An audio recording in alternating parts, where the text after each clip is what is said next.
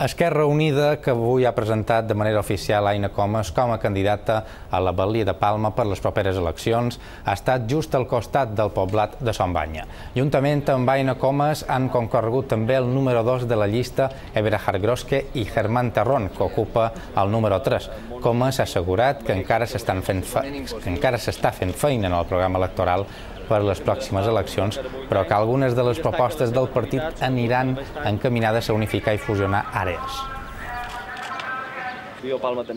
També estem interessats en proposar una gran àrea que aglutini totes les competències en benestar social,